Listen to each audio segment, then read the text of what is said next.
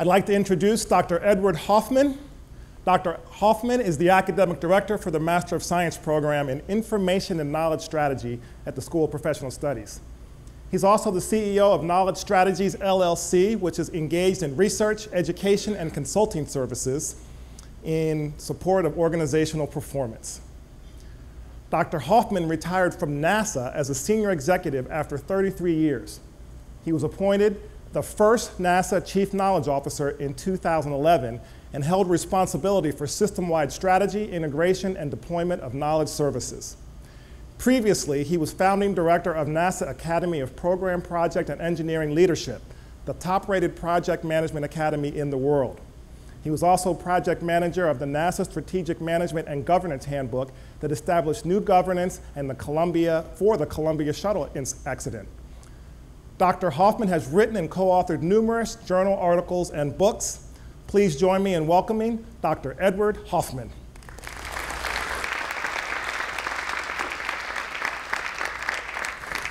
Thank you very much. Um, as uh, Dean Wingard said, uh, my focus would be about how teams relate in terms of my experiences, which goes back to NASA. So I served 33 years at NASA as the Chief Knowledge Officer and the director of the NASA Academy. And during that time, my total focus was on developing capable people and high performance project teams in order to meet the mission requirements that we had. At NASA, I was known for saying that performance happens at the team level. And to illustrate my point, let me share what I call a tale of two shuttles. On February 1st, 2003, the Space Shuttle Columbia number 107 disintegrated upon re entering the Earth's atmosphere, killing all seven crew members. The ensuing Columbia Accident Investigation Board indicated that in addition to the technical causes of the failure, there were underlying organization factors that contributed to the failure. The report identified the need for a culture committed to organizational learning, where communication, collaboration, and openness of ideas would be the norm. Subsequent studies painfully pointed out the need for a culture of more effective communication and knowledge sharing. Six years later, the acting NASA administrator, Chris Scolese, asked me to attend the flight readiness review for Space Shuttle 119. I was asked to be in the decision room to watch for signs of how effectively we were working and collaborating as a team. Very early that morning, a problem was determined and it led to the focus of the discussion. On the previous shuttle flight, it was detected that there was an unexpected hydrogen flow increase from one of the shuttle's main engines, and the flow valve didn't operate as predicted. The cause of the flow valve problem was not understood by engineering, and there was not clear agreement on the potential impact. During the next 14 hours of review, I watched what would become one of the proudest moments of my career at NASA.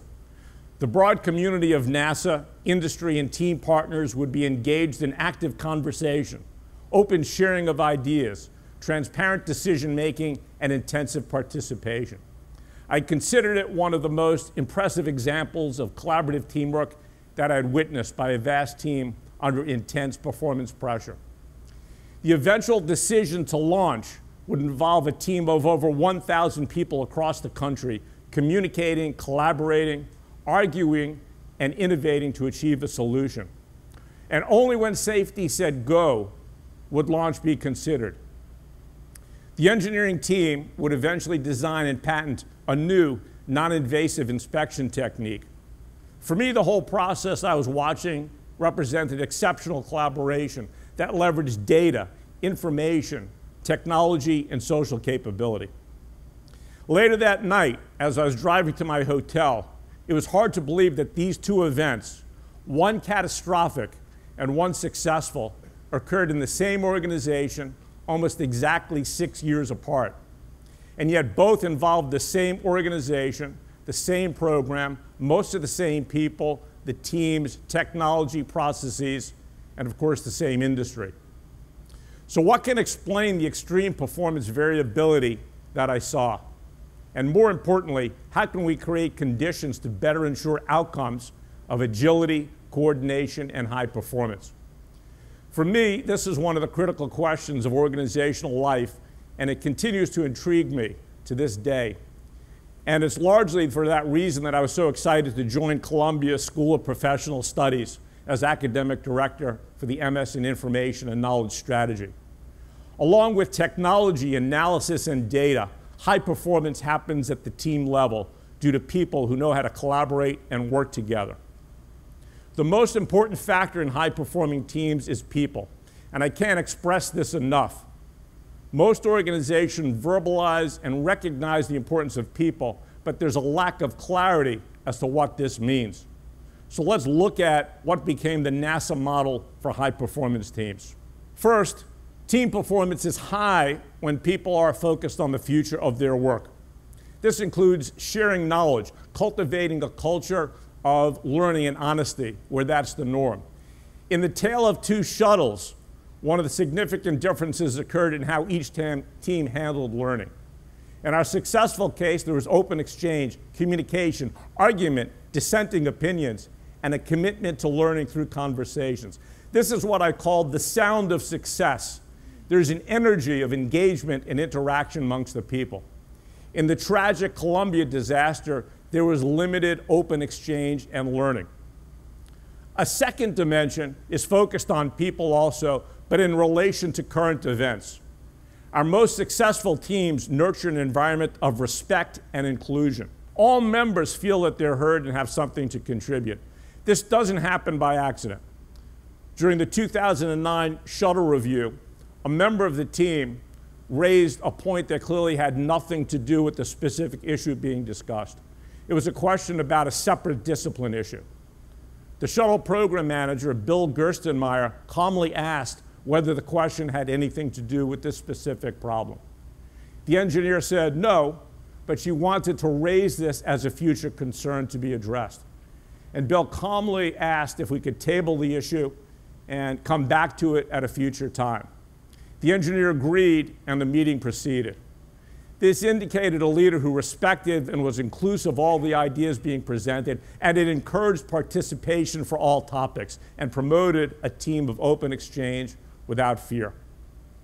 Today, most work is conducted across global teams. This raises the importance of building teams that respect and are inclusive of all its members.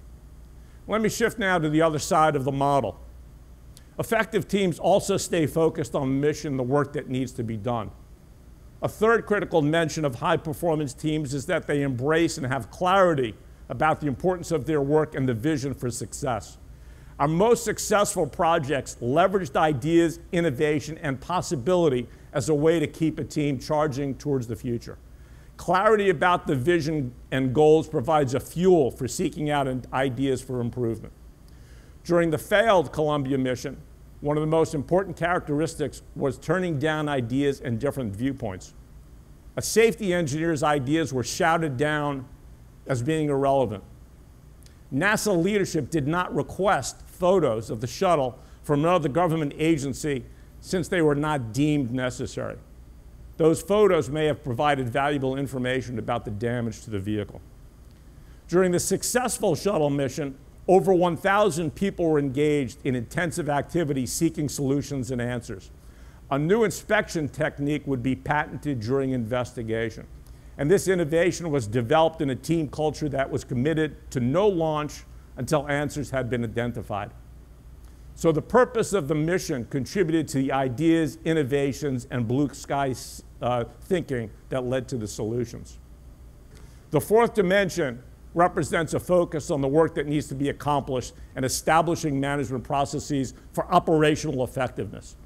This is the dimension of management, process, standards, roles, and governance that contributes to best practice. This needs to be tailored to the context, but it provides a framework for how we are successful in our organization. NASA employed standards for management of complex projects and programs based on decades of expertise and knowledge Methods were used because they contributed to safety and success. So performance happens at the team level, and we know what leads to successful teamwork. However, it requires hard work, resources, and perseverance. Successful leaders are focused on people and mission. They approach these dimensions in the present time and with an eye on the future.